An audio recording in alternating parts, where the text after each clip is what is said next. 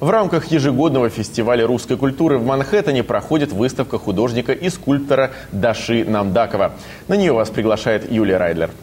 Своеобразное преломление культурных традиций Европы и Востока. Одна из основных и притягательных особенностей работ художника и скульптора Даши Намдакова, чья выставка проходит в эти дни в Нью-Йорке в National Art клубе. Экспозиция под названием «Намат. Воспоминания о будущем». Это скульптуры, ювелирные изделия, графические работы, наполненные мудростью, чувственностью и гармонией. Они родом из далеких миров, где нет границ между человеком и Вселенной. Это образы шаманов, воинов, соблазнительных женщин, которых мастер виртуозно переносит на бронзу, серебро и золото. В его работах монументальные вещи обретают хрупкость и невесомость. Я как осенний лепесток, который попадает на, в ручеек горный, и я вот плыву по ней, да, и так, чтобы каких-то там мега себе задач я не ставлю. Что получится, один только Бог знает.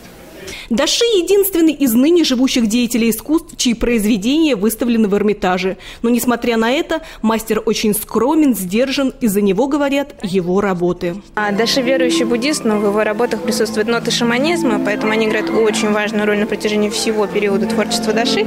И поэтому можно видеть, как вы правильно заметили, среди украшений это хранители, защитники, также и даже в названиях присутствует очень много этих слов. Вот. Поэтому каждая работа, она, конечно, может рассматриваться как талисман. Выставка скульптора проходит в рамках ежегодного фестиваля русской культуры и спорта «Наше наследие». Организатор и президент русско-американского фонда искусствовед Марина Ковалева. Даши Намдаков – один из тех удивительных мастеров, художников, а, скульпторов, творчество которого должно быть представлено американцам, должно быть понято американцами и должно очень понравится, прийтись по душе американцам. Я крупный коллекционер, и мне очень нравится эта выставка. Мне кажется, что в ней прослеживаются фламандские корни. Это действительно изысканная, неординарная, потрясающая коллекция. Искусство – это интернациональный язык, и я думаю, американцам особенно интересно будет посмотреть эту выставку, и они должны это сделать. Выставка продлится в Нью-Йорке до 30 июня. Юлия Райдлер, Марат Насибулин, НТВ Америка, Нью-Йорк. Мик Джаггер